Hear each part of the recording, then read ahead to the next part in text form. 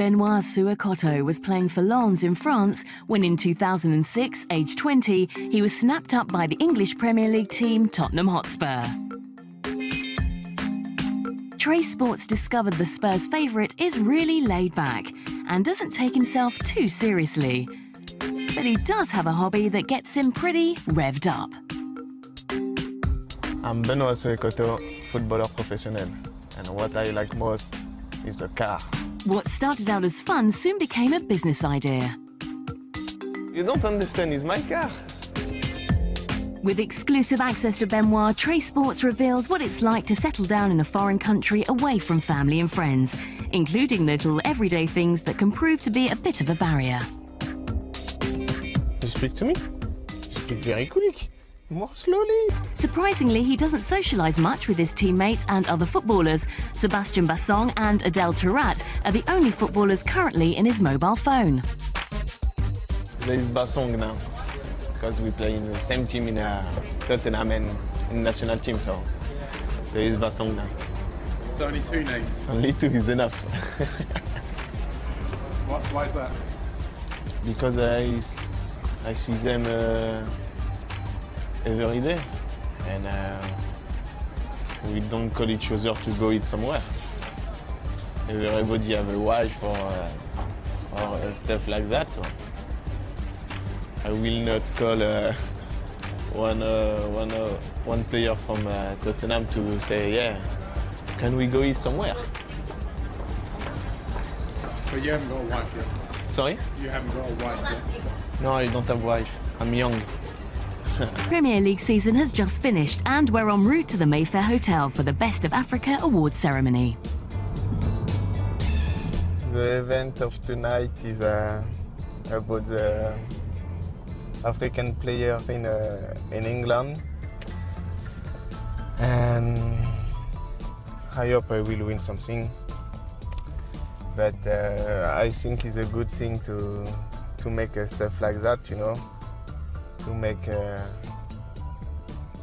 to make the African player in uh, a front. And uh, like that we can show as uh, we, uh, we have a big solidarity together. I don't know, you know, the Premier, you, you speak about the Premier League. You know, the Premier League is, uh, for me, is the best league in, uh, in Europe. So, and it's very, very hard to play here. But I think many people want to play in the league.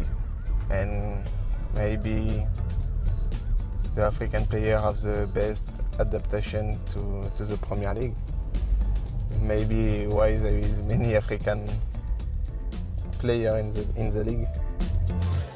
In 2011, more than 40 footballers from Africa played in the English Premier League. Despite this strong competitive streak, Benny remains fairly shy. When we asked him about a current football fashion, tattoos, we discovered a more philosophical side to his character. But does he have any secret tattoos that even his mum doesn't know about? No. Wh- Why not? All footballers have tattoos. Yeah, I have nothing. You can see. yeah, I have one, but my mom don't know that. What would your mum say? Stuff like that is disgusting. What's your tattoo? Is um, comment? Africa with a flag, with the flag of my country. The chain mm, is like a Uh, there is not many people who see this tattoo. the man in the shop said um, uh, special for the first tattoo because many many many players said only God can judge me. Uh, they do it a lot, so he said, yeah, it's strange that I do it for the first tattoo.